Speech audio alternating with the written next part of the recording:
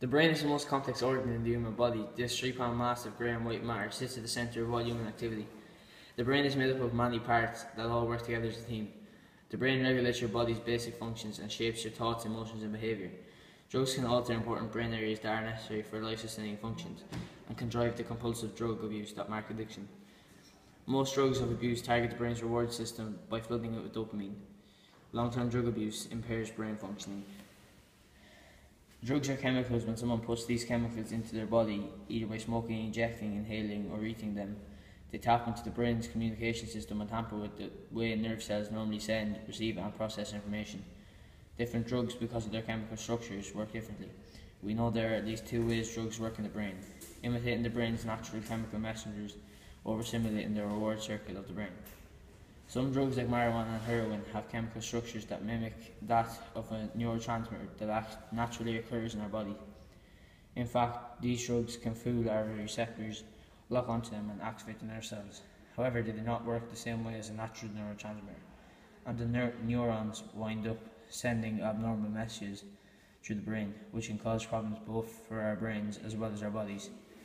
Other drugs such as cocaine and methamphetamine cause nerve cells to release too much dopamine, which is natural, which is a natural neurotransmitter, or prevent the normal recycling of dopamine. This leads to exaggerated messages in the brain, causing problems with communication channels. It's like the difference between someone whispering in your ear versus someone shouting in a microphone. Most drugs of abuse, nicotine, cocaine, marijuana, and others affect the brain's reward circuit, which is part of the limbic system. Normally, the reward circuit responds to feelings of pleasure by releasing the neurotransmitter dopamine. Dopamine creates creates feelings of pleasure. Drugs take control of the system, causing large amounts of dopamine to flood the system.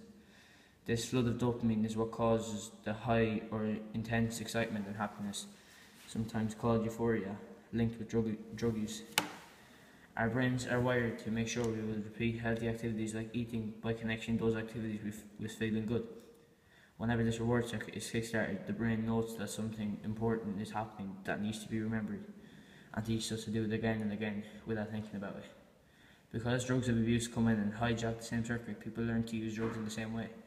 After repeated drug abuse, the brain starts to adjust to the surges of dopamine Neurons may begin to reduce the number of dopamine receptors or simply make less dopamine.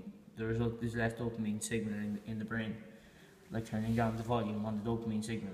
Because some drugs are toxic, some neurons also may die. As a result, the ability to feel any pleasure is reduced.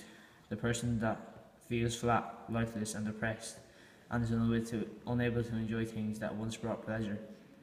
Now, the person needs drugs just to bring dopamine levels up to normal and more of the drug is needed to create a dopamine flood or high, an effect known as tolerance. Long-term effects. Drugs can use drug use can eventually lead to dramatic changes in neurons and brain circuits. These changes can still be present even after the person has stopped taking drugs. This is more likely to happen when a drug is taken over and over.